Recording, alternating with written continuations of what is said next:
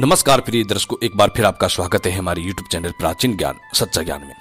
प्रिय दर्शकों, शास्त्रों के अनुसार बताया गया है, यदि तुलसी का पौधा घर में लगाया जाए तो सभी नकारात्मक ऊर्जाओं से छुटकारा मिलता है।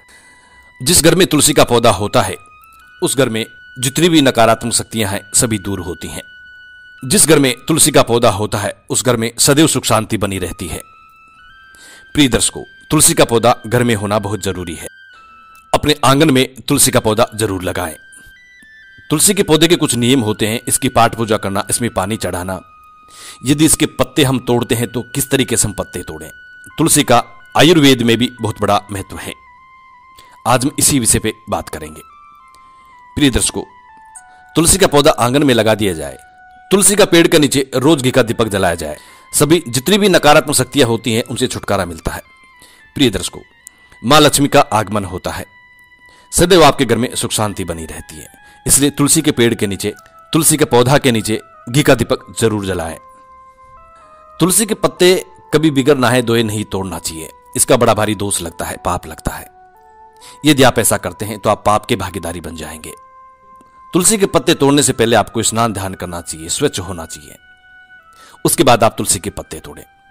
यदि रोज खाली पेट एक तुलसी का पत्ता आप खाते हैं तो आपके शरीर से समस्त प्रकार की बीमारियों से आपको छुटकारा मिलेगा। तुलसी का बना पाउडर यदि आप रोज सेवन करते हैं तो आपके शरीर से तमाम बीमारियों से आपको छुटकारा मिलेगा। तुलसी में कभी भी अशुद्ध पानी नहीं चढ़ाना चाहिए। जो पानी पीने लायक हो, साफ़ हो, सुथरा हो, स्वच्छ पानी हो, वो पानी हमेशा चढ़ाएँ। तुलसी में कभी भी अशुद्ध पानी ना चढ़ाएँ। इसका बहुत बड़ा पाप लगता है। आप सात जन्मों तक पाप की भागीदारी बने रहेंगे। यदि तुलसी में आप अशुद्ध पानी चढ़ाते हैं। ध्यान रहे, तुलसी का पौधा ऐसी जगह हो जहाँ स्वच्छता हो, जहाँ अच्छी जगह हो स्वच्छता हो, गंदगी ना रहे। तुलसी के आसपास किसी प्रकार की कोई गंदगी नहीं होनी चाहिए। जिस घर में तुलसी की पूजा होती है, उस घर में मांस, मदिरा, इन चीज़ों का सेवन करना वर्जित है। तुलसी की माला गले में धारण करने वाला भी मांस, मदिरा का सेवन नहीं कर सकता। यदि वो ऐसा करता है तो वो सात जन्मों तक पाप का भागीदारी बने रहेगा। उसके घर में कभी भी सुख समृद्धि नहीं होगी। तुलसी के पौधे के साथ यदि केले का पौधा भी लगा दिया जाए तो कहनी क्या बात है? आपके घर में सुख समृद्धि की बौछार हो जाएगी। तुलसी के पौधे की नियमित रूप से पूजा करने से सभी प्रकार की दुख दुविधा से मुक्ति मिलती है।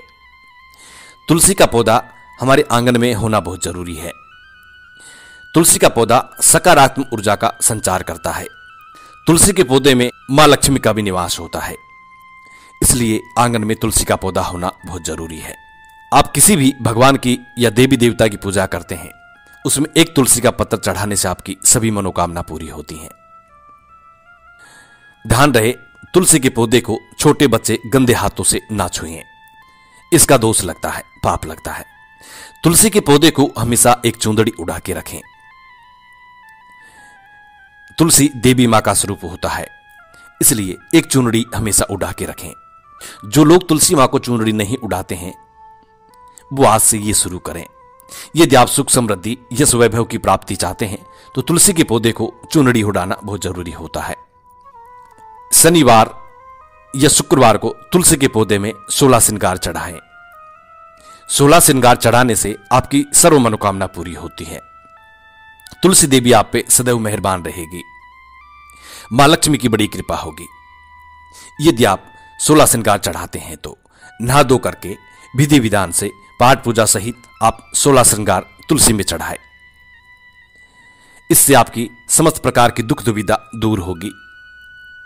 महिलाएँ तुलसी का पौधा तो अपने आँगन में लगा लेती हैं, लेकिन उसको नहीं तो चुंदड़ी उड़ाती हैं, नहीं सोलह श्रृंगार चढ़ाती हैं। देखिए, जिस तरीके से एक औरत सोलह श्रृंगार करती है, एक सुहागिन सोलह श्रृंगार करती है, उसी तरीके से तुलसी को भी सोलह श्रृंगार अर्पित किए जाते हैं। लोगों को यह मालूम ही नहीं होता, सिर्फ़ पानी चढ़ाना और दीपक जलाना, इतना ही मालूम होता है। दूसरा चमत्कार, यदि जहाँ तुलसी का पौधा, तुलसी का पौधा कहीं अकस्मात उगा हो, तुलसी का पौधा अपने आप उगा हो, ऐसी जगह पे धन की संभावना भी होती है। प्रिय दर्शकों तुलसी के बहुत बड़े चमत्कार होते हैं। जो लोग इनको पहचान जाए, उनका जीवन तुलसी बदल सकती है। तुलसी का पौधा जिस घर में, जिस परिवार में होता है, उस घर में सदैव सकारात्मक ऊर्जा का प्रभाव बना रहता है। नकारात्मक ऊर्जा हमेशा दूर रहती है। आपके घर के देवी, देवता सभी आपसे प्रसन्न रहते हैं। ईश्वर की बड़ी कृपा होती है। प्रिय दर्शकों हमारा मकसद है प्राचीन भारत का लुप्त हो रहा ज्ञान, आम जन कल्याण हेतु आम जन तक पहुंचाना। जो लोग हमसे नए जुड़े हैं, वो हमारे चैनल को सब्सक्राइब करें। अच्छे अच्छे कमेंट किया करें। बेल आइकन ऑन करना ना भूलें, ताकि हर आने वाले वीडियो का नोटिफिकेशन सबसे पहले आपको मिले। तुलसी के सोलह श्रृंगार के बारे में हम अगला वीडियो बनाएँगे। उसमें आपको संपूर्ण जानकारी देंगे कि तुलसी के पेड़ में सोलह श्रृंगार किस विधि से चढ़ाया जाए, कब चढ़ाया जाए, कैसे चढ़ाया जाए। महिलाएँ माता बहनें अक्सर ये गलती करती रहती हैं। जब भी आपको महीने का पीरियड आता है, उस वक्त तुलसी के नज़दीक भी ना जाए। ऐसी स्थिति में यदि आप तुलसी को छूती हैं तो आप सात जन्मों तक पाप की भागीदारी बनी रहेंगी और आपका तुलसी का पौधा सूख जाएगा। यदि तुलसी के पौधे के आसपास आप गंदगी रखते हैं तो भी आपका तुलसी का पौधा सूख जाएगा और आप पाप के भागीदारी बन जाएँगे। इसलिए तुलसी के पौधे के आसपास कभी भी कोई गंदगी नहीं रखनी चाहिए। महीने का पीरियड के दौरान तो कभी भी नहीं। छूना भी बहुत पाप है। तुलसी का पौधा बहुत पवित्र पौधा होता है। इसमें सभी देवी देवता का वास होता है। इसीलिए, जो माता बहन ये गलती करती हैं, वो गलती करना बंद करें। यदि आप अपने घर में सुख शांति, सुख समृद्धि, यश वैभव की प्राप्ति चाहती हैं तो ये गलतियाँ करना बंद करें। तुलसी के पौधे में यदि शाम को दीपक जला दिया जाए तो आपके घर में अन्न धन की प्राप्ति होती है। तुलसी के पौधे में यदि शनिवार को दीपक जलाया जाए तो इससे आपको रोज़गार, नौकरी रोज़गार, नौकरी मिलने की संभावना होती है। तुलसी के पौधे में यदि मंगलवार को शाम को दीपक जलाया जाए तो इससे पुत्र प्राप्ति होती है। तुलसी के पौधे में यदि बुधवार के दिन घी का दीपक जलाया जाए तो इससे ज्ञान की प्राप्ति होती है। तुलसी के पौधे में सोमवार के दिन यदि तेल का दीपक जलाया जाए तो इससे सभी ग्रह दोष शांत होते हैं। तुलसी के पौधे में यदि रविवार के दिन तिल्ली का तेल का दीपक जलाया जाए तो इससे ग्रह क्लेश दूर होता है।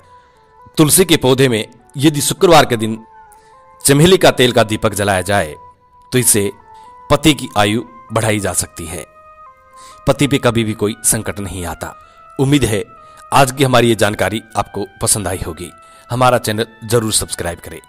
ऐसे ही इंटरेस्टिंग वीडियो हम लेके आते रहते हैं। जी नमस्कार धन्यवाद।